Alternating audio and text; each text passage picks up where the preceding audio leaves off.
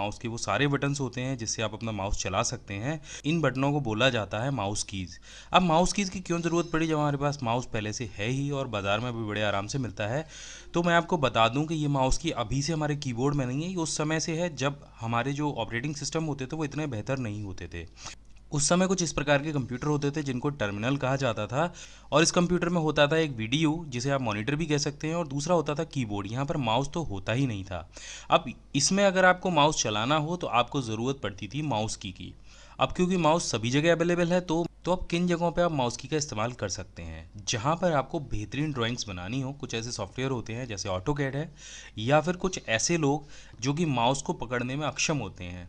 उन लोगों को माउस की की आवश्यकता होती है। कुछ ऐसी जगह पर अगर आप ट्रैवल कर रहे हैं, जैसे बस में बैठ के जा रहे हैं या प्लेन में बैठ के जा रहे हैं और जहाँ पर ज़्यादा वाइब्रेशन है तो अब वहाँ पर भी आप माउस की का इस्तेमाल कर सकते हैं माउस से बेहतर। या फिर आपका माउस है ही नहीं या ख़राब हो गया है, टूट गया है तो भी आप माउस की का इस्तेमाल कर सकते हैं। या फिर आपके एग्ज़ाम्स में भी पूछा जा सकता है कि कीबोर्ड से आप माउस कैसे चला सकते हैं, उसके कौन कौन से शॉर्टकट्स हैं।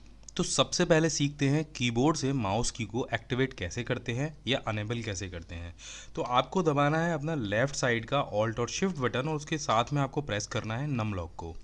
जैसे ही आप प्रेस करेंगे, एक बीप की साउंड होगी और यहाँ पर आपका एक डायलॉग बॉक्स ओपन हो जाएगा। यहाँ पर लिखा होगा do you want to turn on mouse keys तो यहाँ पर आपको करना है यस और जैसे ही आप येस करेंगे तो नीचे देखेंगे टास्क बार में, यहाँ पर एक माउस की का ऑप्शन आपके सामने आ जाएगा। अब इसको हम थोड़ा सा डबल क्लिक करके देख लेते हैं कि हमें कौन कौन से ऑप्शन यहाँ पर मिलते हैं। जब हमने माउस की एक्टिवेट की तो यहाँ पर ये जो ऑप्शन है, ये अनेबल हो गया। इसके नीचे यहाँ पर जो शॉर्टकट है कीबोर्ड का अगर बाई चांस आप इसे डिसेबल करना चाहते हो तो यहाँ से टिक हटा दीजिए, क्योंकि हो सकता है कि कोई गेम खेलते समय या कोई कीबोर्ड का शॉर्टकट यूज़ करते समय आपकी माउस की अनेबल हो जाए।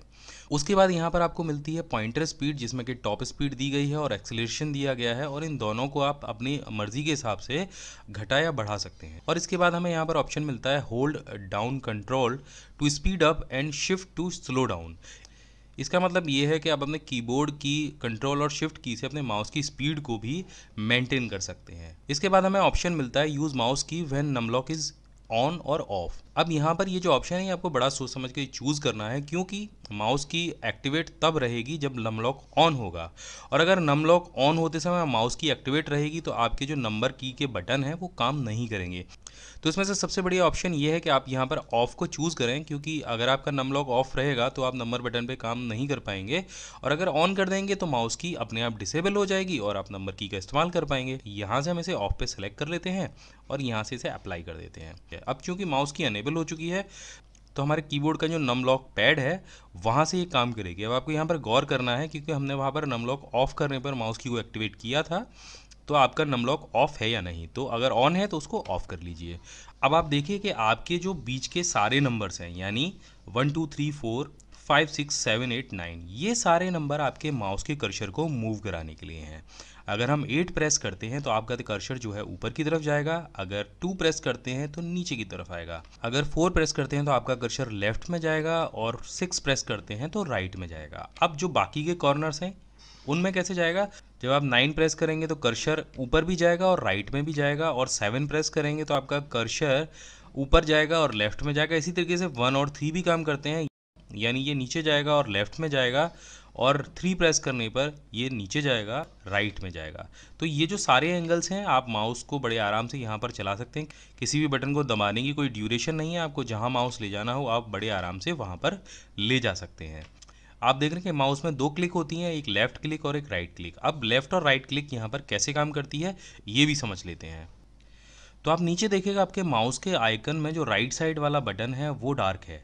अब आपके कीबोर्ड के नम पैड के ऊपर तीन बटन दिए होते हैं, पहला ऑब्लिक का, दूसरा स्टार का और तीसरा माइनस का। जब आप ऑब्लिक को प्रेस करते हैं तो ये जो की है, वो बदल जाती है और राइट से लेफ़्ट में आ जाती है। और जब आप माइनस की को प्रेस करते हैं तो ये लेफ़्ट से राइट में आ जाती है। तो आप इन दोनों कीज़ को यहाँ से चेंज कर सकते हैं। आपका जो पाँच नंबर वाला बटन है, वो काम करता है आपका क्लिक करने का। तो अगर हमें ये फोल्डर ओपन करना है तो हमें लेफ़्ट क्लिक करनी होगी, क्योंकि हम डबल क्लिक करने के लिए लेफ़्ट की का इस्तेमाल करते हैं हमेशा। तो यहाँ पर आप माउस की को ले जाइए अपने फोल्डर पर, और यहाँ पर देखिए सिलेक्शन आपका होना चाहिए लेफ़्ट क्लिक पे। अब आप फाइव बटन को दो बार प्रेस कीजिए और आपका देखिए फोल्डर ओपन हो गया। अगर आपको सिंगल क्लिक करना है किसी फोल्डर या आइकन पर तो आपको फाइव प्रेस करना है तो इसे आप सेलेक्ट भी कर सकते हैं। और अगर आपको डबल क्लिक करनी है तो आपको प्लस बटन को प्रेस करना है। लेकिन ये करना कब है?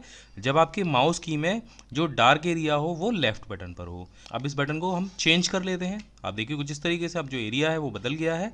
अब वो जो बटन है, जो प्रेस होगा वो राइट की जगह लेफ़्ट में आ गया। अब जब भी आप फाइव को प्रेस करेंगे तो यहाँ पर जो मेन्यू है, वो ओपन हो जाएगा, जिससे आप रीनेम वगैरह कुछ भी कर सकते हैं। अब यहाँ पर हम सबसे टफ काम आपको करके दिखाते हैं माउस से, कि किसी भी चीज़ को आप कैसे ड्रैग करके ले जा सकते हैं। यहाँ पर देख रहे हैं एम एस वर्ड की एक फ़ाइल है, और मुझे ड्रैग करके ये न्यू फोल्डर टू में ले जानी है। तो मैं इसे कैसे ले जाऊँगा? तो सबसे पहले मैं यहाँ पर जो माउस की क्लिक्स हैं, उनको चेंज करूँगा। उसको मैं लेफ़्ट क्लिक पर सेलेक्ट कर लूँगा, उसके बाद अपने माउस की से इस फ़ाइल पर जाऊँगा, और यहाँ से फाइव बटन प्रेस करके इसको सेलेक्ट कर लूँगा।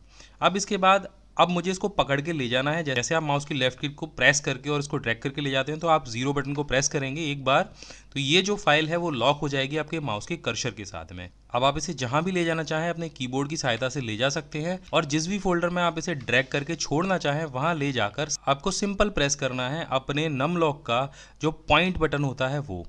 तो एक बार में जो आपकी फ़ाइल है, वो आपके फोल्डर में चली जाएगी। फोल्डर को हम फाइव बटन से प्रेस करके ओपन करके देख लेते हैं। यहाँ पर वो फ़ाइल आ गई है। तो ये जो सारा काम हमने किया है यहाँ पर, ये किया है कीबोर्ड की मदद से और यहाँ पर हमने इस्तेमाल किए हैं वो सारे पंद्रह बटन्स